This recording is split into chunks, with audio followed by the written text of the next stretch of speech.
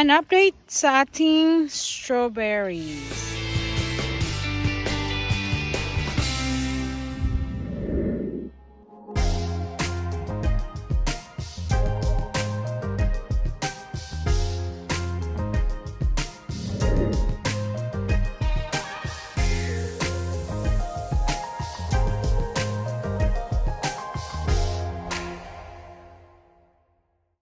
So, ayan siya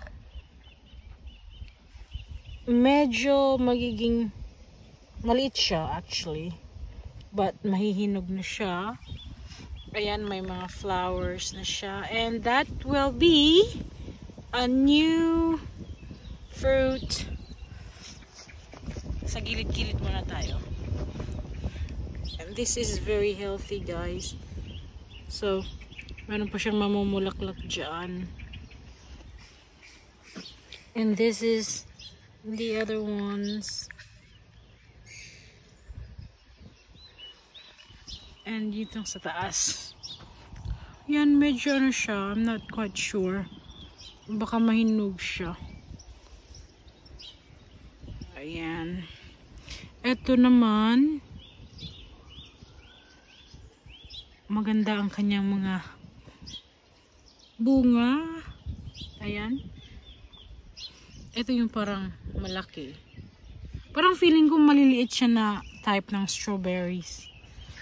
Ito parang very soon magiging pink na yan or red. Ayan. Ayan sila. Nilagyan ko siya ng parang net. Dahil ayaw ko yung ano lang ba? Para hindi siya diretso sa um, soil. There you go. Yan lang yung ating strawberry. Ayan. Yan ang ating pumpkin. There you go. Ito yung sa gilid pala.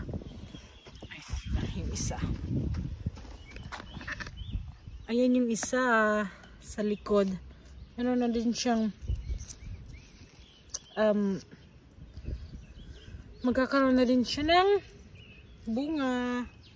Ayan. There you go.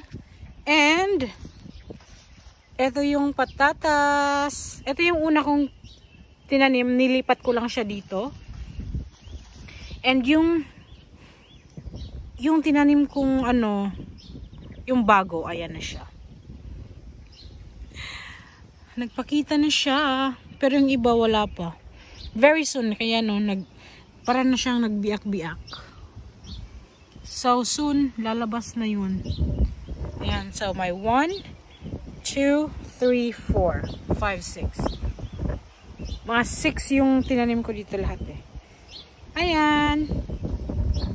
Ayan na guys, ang aking strawberries. May ano na, may net. Ayan. Puntahan natin sa loob. Ooh. There you go. Akin na siyang i-harvest. And andyan na yung isa.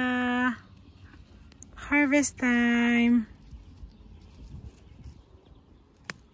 There we go. And isa. There. I've got two. Ayan, malapit na din siyang mahinog. As well as itong dalawa. Lagay natin sa net. Nilagyan ko siya ng net para hindi siya magpunta dun sa ano sa lupa. Ayan. So, meron na tayong dalawang harvest. Is my potatoes.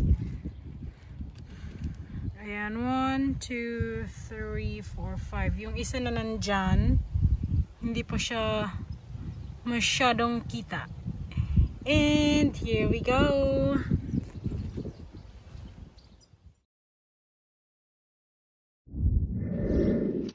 Here you go guys, soon to harvest.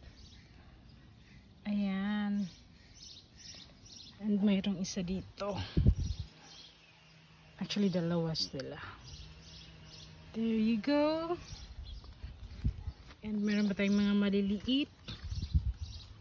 There. So, sa gilid. Ayan. With flowers.